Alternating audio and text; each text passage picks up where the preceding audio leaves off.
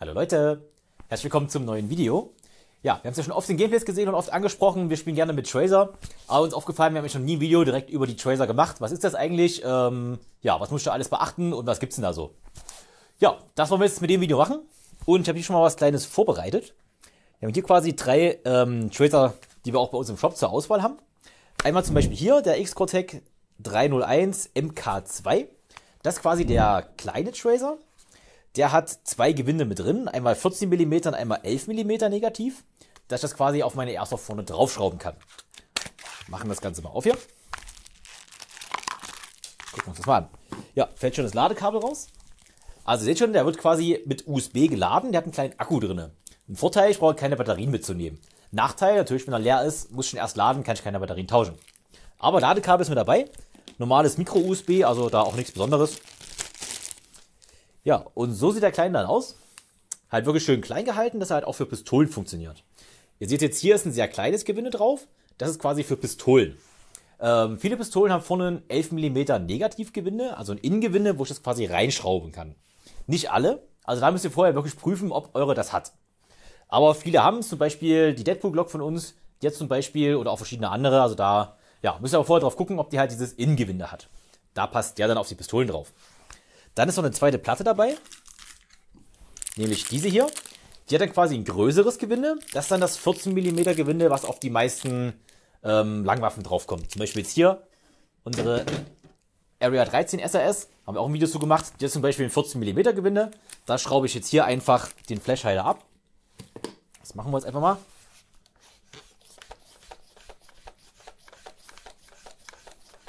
Na, schraube ich rum. Endlos Gewinne.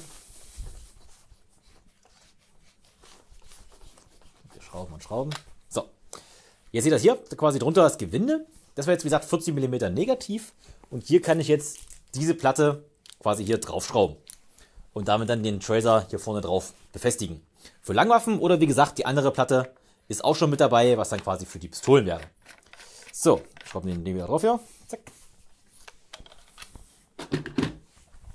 Genau. Dann zum Laden muss ich hier vorne diese kleine Kappe abschrauben. Alles Endlosgewinne. So, und dann habt ihr hinter den Ladeanschluss. Ganz simpel, einfach USB-Kabel anstecken, zack, in die Steckdose und dann lädt er auf. Ähm, wenn er lädt, leuchtet er quasi rot. Wenn er nicht mehr rot leuchtet, ist er voll. Hält dann auch wirklich lange, also einen Spieltag kriegt er damit locker über die Bühne.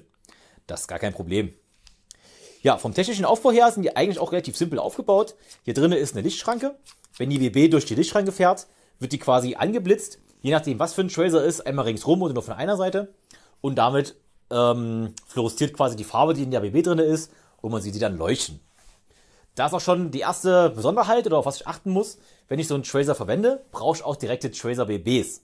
Das heißt, da kann ich nicht meine ganz normalen ja, Bio-BBs nehmen, die ich sonst immer nehme, sondern da brauche ich dann Tracer für. Die schauen dann so hier aus. Ja, das wäre dann sowas hier. Ihr seht schon, die sind halt so ein bisschen, ähm, ja, leicht grünlich, nicht ganz so weiß wie die anderen sind. Ähm, ja, einfach da, dafür gedacht, dass sie halt leuchten können. Dem ist quasi hier so eine fluoreszierende Farbe mit drin. Und wenn die angeblitzt werden, dann leuchten die halt schön grün. Gibt auch noch in Rot, wo man immer sagen muss, die roten leuchten nicht ganz so stark wie die grünen. Deswegen sind die grünen viel mehr verbreitet. Rot sieht man relativ selten. Ähm, für Rot brauche ich auch spezielle Tracer, die entweder beides können, Rot und Grün, oder es gibt auch welche, die nur Rot können. Zum Beispiel von denen hier gibt es einmal die grüne Ausführung, die wir haben, und dann gibt es davon auch noch eine rote Ausführung, die halt direkt für die roten BBs gemacht ist. Aber wie gesagt, äh, mehr verbreitet ist auf jeden Fall der grüne. Ja, das zum Beispiel jetzt hier der kleine. Kann man halt, wie gesagt, für Pistolen oder für Gewehre verwenden. Ähm, Macht natürlich nicht so lang, was schon mal für die Area sehr cool ist. Oder allgemein für CQB-Felder, wenn ich halt mein Setup schön kurz halten kann. So, packen wir alles zusammen. Genau, gibt es auch bei uns im Online-Shop und natürlich auch hier im Shop vor Ort, kostet 74,95. Ja, dann gibt es noch sowas hier zum Beispiel. Das wäre jetzt der Spitfire Tracer, sieht im Endeffekt genauso aus oder fast genauso wie der, ein bisschen größer.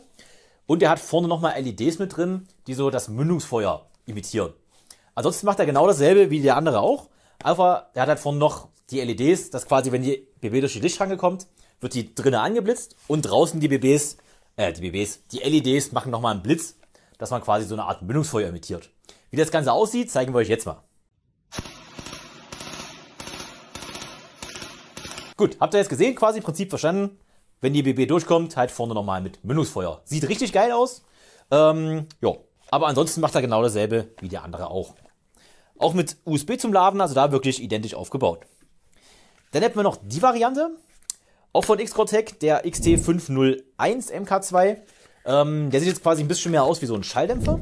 Und der läuft mit Batterien. So, ihr seht schon, deutlich länger gemacht das Ganze. Ja, hat er so diese Schalldämpfer-Optik, sieht auf jeden Fall auch richtig cool aus. Ähm, hat hinten auch das 14 mm Gewinde, das ich halt wieder vorne einfach dann draufschrauben kann. Und ich habe jetzt hier dann Batterien, dafür schraube ich hier vorne das ab. Und ihr seht einmal hier, kommen quasi vier 3 A-Batterien rein. Halten auch wirklich wieder lange durch.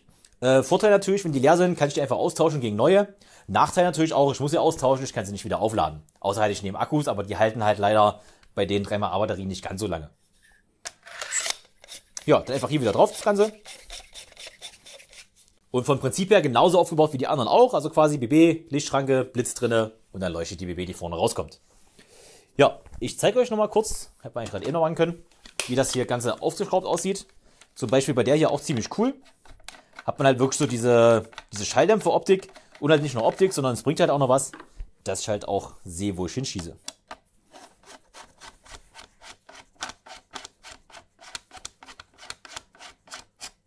So. Ja, das ist auf jeden Fall immer ein sehr langes Gewinde bei allen.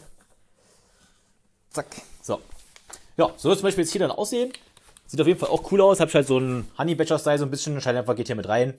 Ähm, und habe halt, wie gesagt, gleich den Tracer noch mit dran. Ja, also da finde ich auch sehr cool von der Optik. Genau, wofür macht man das Ganze eigentlich? Einfach nur dafür, dass ich halt richtig schön sehe, wo schieße ich hin.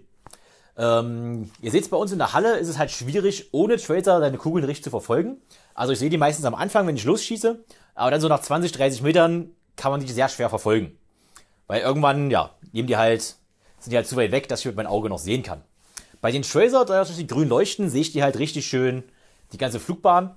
Einmal super zum Visier und Hop-Up einstellen, aber natürlich auch zum Spielen macht es deutlich mehr Spaß, dass ich halt genau sehe, wo habe ich jetzt gerade hingeschossen und auch habe ich den anderen getroffen oder habe ich daneben geschossen. Zum Beispiel mit Tracer, wenn ich jetzt eine Schussfolge mache und sehe zum Beispiel, okay, ich habe ein Stückchen zu weit rechts, muss ich halt einfach links halten und kann dann immer gucken, wo fliegen die Kugeln hin. Kann mich quasi so ein bisschen daran orientieren, wo ich halt hingeschossen habe. Ich persönlich spiele nur noch mit Tracer, macht auf jeden Fall deutlich mehr Spaß als ohne. Einfach aus den genannten Gründen, weil man halt schön sieht, wo schieße ich hin, habe ich ihn getroffen, ja, nein. Und natürlich auch, wenn ich jetzt Gameplays aufnehme, natürlich auch cool, dass halt auch die anderen dann quasi sehen, wo man gerade so hingeschossen hat. Ja, da wir jetzt noch eine müde Theorie machen, würde ich sagen, gehen wir jetzt nochmal aufs Spielfeld und wir schießen mal ohne und wir schießen mal mit Tracer, dass ihr nochmal richtig schön den Unterschied seht. Gut, los geht's. Gut, auf dem Spielfeld angekommen, haben wir jetzt hier einmal kurz meine 05er Vektor und dann wollen wir einmal den Tracer zeigen. Ja, ich werde jetzt gleich mal ohne Tracer schießen, da werdet ihr höchstwahrscheinlich sehen, dass ihr nichts seht. Ähm, und danach schießen wir noch mit Tracer und da kann man dann sehen, dass man schön die Flugbahn der Kugel nachverfolgen kann. Gut, also sagen, erster Schuss machen wir erstmal ohne Tracer. So, versuche hier vorne einfach mal durch das Loch da quasi durchzuschießen.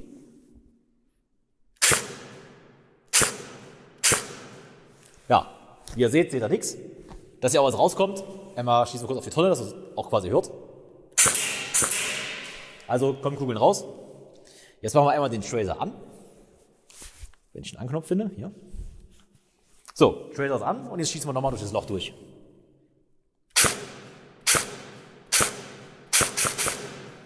Ja, denke mal, Unterschied habt ihr gesehen.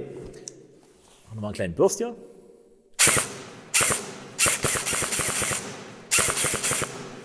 Ja, sowas hat auf jeden Fall richtig Bock, dass ich dann sehen kann, wo ich hinschieße. Ähm, ja, nicht nur hier oben, auch auf dem unteren Feld macht es auf jeden Fall richtig Sinn. Unten sehe ich es noch ein bisschen besser, weil halt von beiden Seiten mehr Licht einfällt. Aber trotzdem mit Tracer, ja, sehe ich halt immer richtig schön, wo schieße ich hin. Und halt auch zum Hop-Up und Visier einstellen, macht auf jeden Fall auch deutlich mehr Spaß, weil ich halt, wie gesagt, die Flugbahn richtig nachverfolgen kann, ob sie nach 30 Metern nochmal Overhop kriegen oder ob sie halt geradeaus fliegen. Gut, soweit zum Tracern. Ich würde sagen, ja, Vorteile haben wir herausgestellt, was so ein Ding ausmacht. Aber an sich ist es auch einfach nur geil, dass man halt sowas hier machen kann.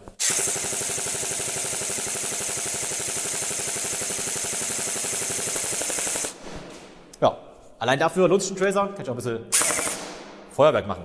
Bis später.